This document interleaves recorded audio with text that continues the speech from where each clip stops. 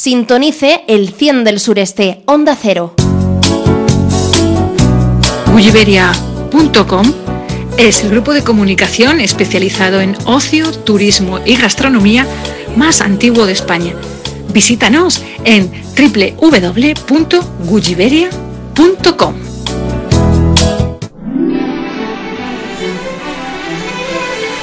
Gucciberia.com, el portal de viajes, ocio y gastronomía más antiguo de España, hoy nos lleva hasta Fuencarral, hasta la calle Nuestra Señora de Valverde, porque hoy vamos a ofrecerles un restaurante, un restaurante mm, que es fonda y casa de comidas desde 1702. Se llama Restaurante Casa Pedro, en Fuencarral desde 1825 en este caso, con Casa Pedro. ¿Y sabe usted quién es la que nos va a abrir las puertas del restaurante Casa Pedro? ¿Sabe usted quién es la que nos va a enseñar la cocina del restaurante Casa Pedro? La que nos va a enseñar los salones de Casa Pedro. Pues ni más ni menos que Irene Guiñales. Irene Guiñales es, la propietaria, es la dueña. Su padre es el dueño, ella es la dueña y, hace ya muchísimos años. ¿eh? Voy a presentarles a mi amiga Irene, que está en este instante en Casa Pedro, en los fogones, en la cocina de Casa Pedro. Irene, ¿qué tal? ¿Cómo está usted? Bienvenida. Hola, buenos días. Buenísimos días, Irene. Eh, eh, eh, es usted la jefa, la hija del jefe, y lleva trabajando en, en Casa Pedro mm, hace ya muchísimos años, ¿no? Pues sí, yo creo que ya 20 o más de 20 años llevo aquí trabajando. 20 años, o sea que usted se conoce en todos los rincones de este precioso restaurante como es Casa Pedro. Bueno, estos me los conocía muchísimo antes, prácticamente yo creo que desde que nací, porque al ser Casa Pedro una empresa familiar, vives con ello y en ello mm, desde que naces. Casa Pedro es el primer restaurante de carretera. ¿Cuál es la historia? ¿Cuáles son los, los inicios de, de, este restaurante ubicado en Fuencarral, restaurante Casa Pedro, Irene? Es que la historia de Casa Pedro se remonta, según mi abuelo, a 1702 Luego, como parte de los restaurantes centenarios de Madrid, contratamos a un historiador y no fuimos capaces de demostrar que este restaurante, que sí que existía documentalmente, pertenecía a mi familia. Entonces, el, dato, por eso el, lío con las fechas, el dato oficial es 1825 pero el nacimiento del restaurante y, y, el que sabemos nosotros que siempre ha pertenecido a mi familia es desde 1702. Y desde entonces, pues eh, por aquí han pasado 200.000 mm, historias, han pasado muchísimos personajes y, aquí seguimos luchando. Mire, voy a presentarla, querida Irene, a Juan Martínez, que es el responsable de Gulliveria.com, el portal de viajes, socio y gastronomía más antiguo de España. Juan, bienvenido, ¿cómo está usted? Hola Jorge, buenos días. Buenos días. Buenos días. Hola. Hola, encantada. Igualmente. Irene, yo te quería preguntar una, cosita. Por allí cerca estuvo, estuvieron los estudios Roma, ¿no? Pasarían muchísimos actores y personajes famosos por allí, ¿no? Oh, sí, señor, eso es. Es que nosotros antes era el único restaurante que había en la zona y Estudio Roma estaba aquí. No todos, venían todos. De hecho, nosotros, no sé si conocéis el restaurante, para todos los que nos estén oyendo y lo conocen, en la barra, eh, mi abuelo empezó a hacer azulejos de las firmas del libro de firmas entonces, bueno, tenemos la firma de, de, muchísimos personajes que, que, pasaban por Estudio Roma y luego venían a comer siempre.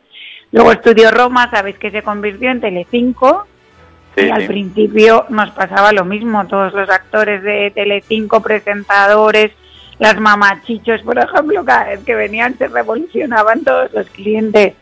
Ahora ya como las empresas tienen comedores propios, pues ya no es tanto, que siguen viniendo, pero ya no es lo mismo. Ya. Eh, ¿Y, y qué, qué tal llevasteis vosotros la, la desviación de la M1 cuando la...? Pues mal, porque hemos, nos hemos quedado en tierra de nadie, O sea, de, de ser un restaurante de paso, de muchísimo paso, ahora estamos un poco en tierra de nadie. Espero con la, que con la construcción de Madrid, Nudo Norte y la Castellana, pues volvamos a ser lo que fuimos, pero quién sabe, no Ya. Cuéntanos un poquito. Yo, yo he oído historias muy bonitas de, de tu padre, que, que en su época le decía a tu abuelo que, cuando había un coche que se quedaba parado, le decía, coge unos sufones y vete a este señor ampliar de motor en su coche. ¿Qué es esto? ¿Es así? Sí, es verdad, es que mi abuelo, mi abuelo era un personaje, ¿le llegaste a conocer? Mi abuelo era un personaje súper divertido, era, era, sí, sí, bueno, Antonio Molina que vivía enfrente y él las han debido liar aquí en esta casa tremendas, era, era un señor divertidísimo, le encantaba la juerga, vivía a tope y bueno, sí, es que hay muchas anécdotas de mi abuelo geniales, sí, sí. ¿Cómo es eh, Casa Pedro? ¿Qué es lo que nos vamos a encontrar si por primera vez Irene visitamos Casa Pedro? Es decir, ¿cuántos salones tiene? ¿Capacidad de comensales por salón? Pues yo creo que lo primero que os encontráis es el recibimiento de, de mi padre, que es un señor que considera el restaurante como su casa y es su vida. Entonces ahora el y lo estamos pasando mal, es un momento complicado y entonces es un recibimiento de, de, muchísimo agradecimiento al, al, que viene a su casa. Después, pues es un restaurante muy grande en el que por, por, por, por antigüedad del edificio no podemos tener escaleras, eh, tiene tres plantas, tenemos arriba una terraza. Eh, la ilusión de mi padre era hacer una bodega porque él es una persona que le encanta el vino entonces construyó su sueño, que es, que es la bodega de Casa Pedro, que es un edificio precioso, que ahora mismo está cerrado por culpa del COVID, pero que a todos los amantes del vino mm, les, les, entusiasma, porque la verdad es que es un sitio hecho con un cariño que solo las personas que aprecian el vino pues lo disfrutan. Se está pasando un detalle, Irene, de, de tu padre, que lo recibe, porque lo recibe, pero con una impecable chaqueta blanca, y una, gran, y una gran sonrisa, ¿no? De lado a lado, ¿no?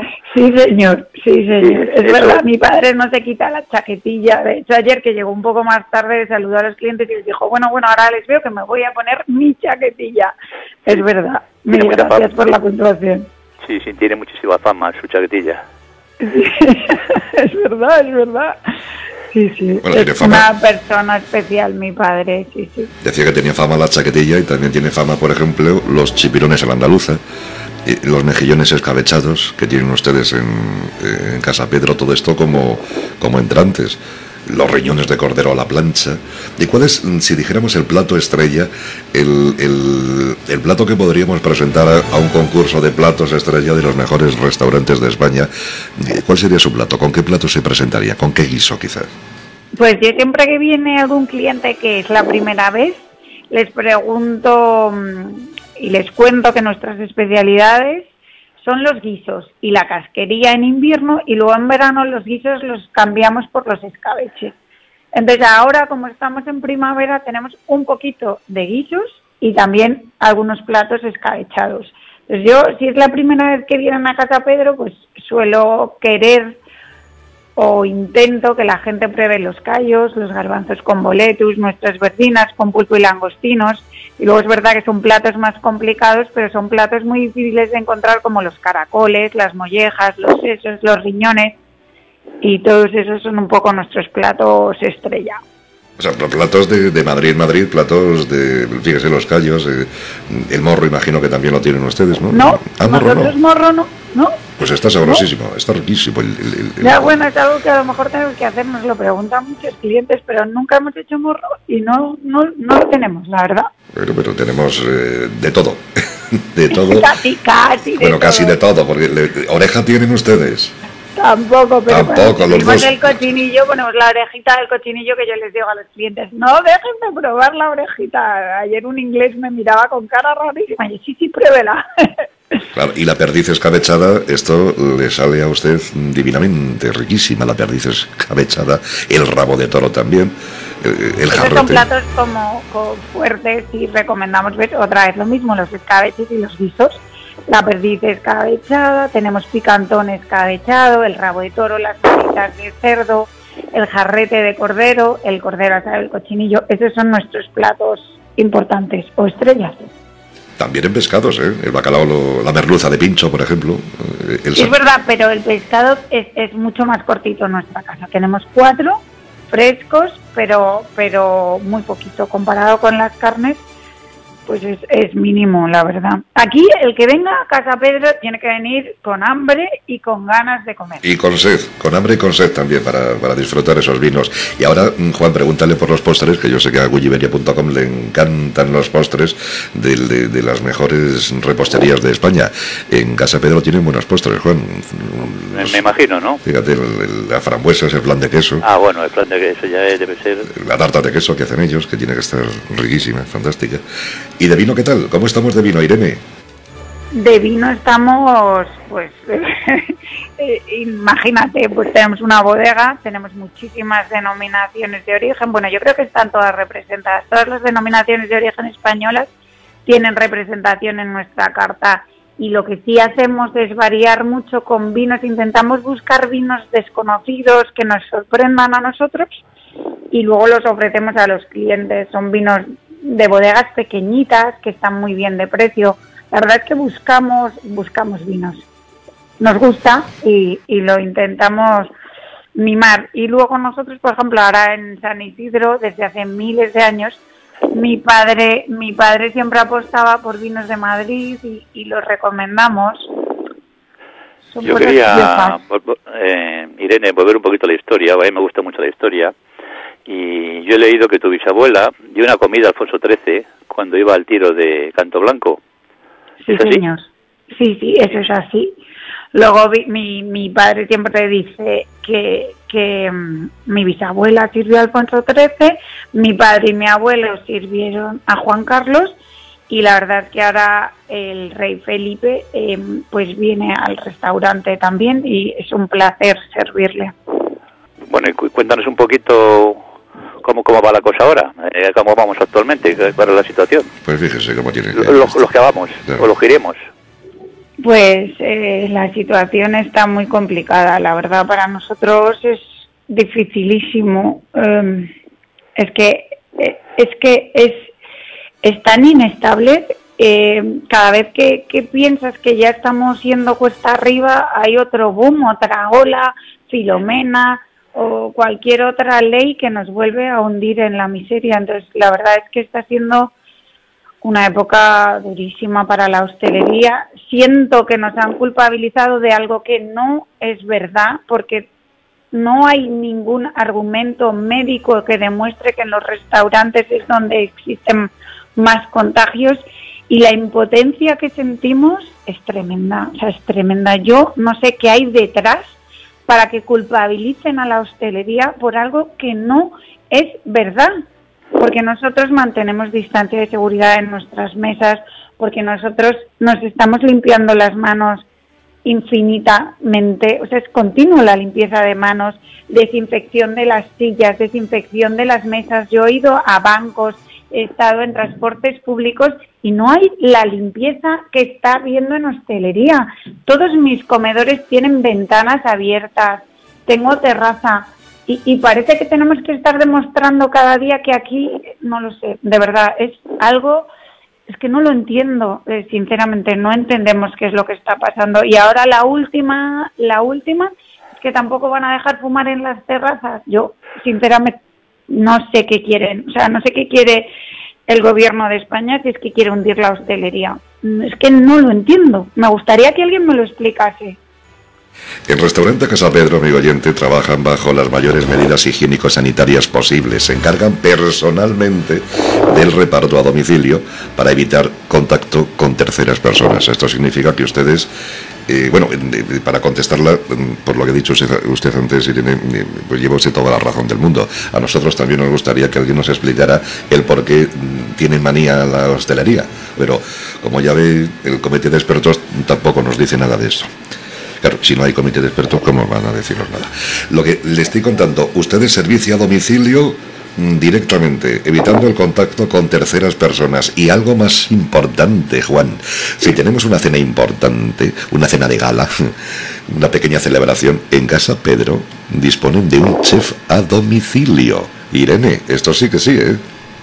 Bueno, nosotros estamos abriendo todo tipo de mercados intentando sobrevivir como podemos. Entonces, cuando estuvimos cerrados durante el confinamiento, decidimos que teníamos que sacar el servicio a domicilio y como teníamos todos tanto miedo, optamos por envasarlo al vacío, porque pensábamos que era la manera en la que luego el cliente en su casa lo iba a calentar y al darle calor a los productos no iba a haber ningún peligro de contagio. De esa manera también creemos que nuestra comida no se estropea, llega el cliente en bolsas al vacío y, y es la es la, la, manera en la que la que creemos que, que puede llegar mejor a casa. Y luego el, el, a domicilio eso es un lujo por si alguien quiere darse el lujazo de tener un cocinero en casa y hacer la, la cena de, de Casa Pedro en su propia casa. Fíjese lo que es un chef en casa que diga, señor chef, ¿a qué tengo el chef? Es, es, da un prestigio también, pues en Casa Pedro ustedes lo pueden tener, el chef en su casa, pues para cualquier tipo de cena o para cualquier acontecimiento importante familiar. Tenemos una página web que es www.casapedro.com, están en Fuencarral, www.casapedro.com, ahí ustedes pueden ver pues todo, desde reservar hasta ver la carta, hasta ver todos los premios y menciones que tienen en prensa, hasta ver la galería de fotos. Y además incluso pueden ver ustedes la galería de, fotos de, de Casa Pedro, desde fotos en blanco y negro hasta la actualidad. Todo está muy bien organizado dentro de la página www.casapedro.com. Querida amiga Irene, no sé si Juan tiene alguna pregunta ya para, para Irene o la despedimos ya. Querido Juan. Una pregunta porque yo sé que una de tus de, bueno, tus amores es la bodega. Y entonces, que no, que no, que, sí. Y, son unas cuevas mi de la chiringuito, yo digo que es mi chiringuito. Chiringuito, ¿no? Son unas cuevas de la época de los árabes. Cuéntanos algo de estas cuevas, porque cuéntanos algo, porque yo creo que se merece la pena. Es que me da tanta pena hablar de la bodega ahora. Bueno, está cerrada, pero bueno. Pero, vamos a contarlo. Es un edificio precioso, de verdad que merece la pena cuando pronto espero que lo podamos abrir que tiene una bodega abajo del todo donde hay una exposición de botellas y una puerta secreta que está con unos túneles que eran de, de la guerra, no sabemos si era de la guerra de la independencia. Mi padre dice que sí, porque Napoleón pasó por Fuencarral y entonces nos comunican con el restaurante eh, con la puerta secreta. Hemos dado muchos sustos a muchos clientes y nos lo hemos pasado muy bien. Y es un sitio de verdad que merece la pena ver. Es precioso, es precioso. Muy bien, pues muchísimas gracias. Casapedro.com, www.casapedro.com. Irene, muchísimas gracias. Irene. Gracias a vosotros, mil gracias por la ayuda que nos estáis a los restaurantes y a Casa Pedro en este caso. Mil gracias. Muchísimas gracias a usted y que tenga un fantástico fin de semana. Irene, un abrazo, igualmente, un abrazo a la familia. Adiós. Juan Martínez, gracias y hasta el lunes ya. Hasta lunes, si Dios quiere. Muchísimas gracias. muy amable. Adiós. Gulliveria.com, el portal de viajes, ocio y gastronomía más antiguo de España, nos ha llevado hasta Casa Pedro. Restaurante Casa Pedro en Fuencarral, www.casapedro.com.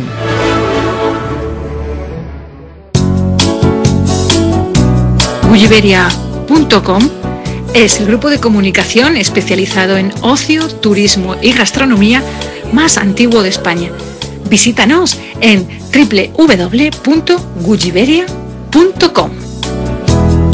El 100 del sureste, Onda Cero.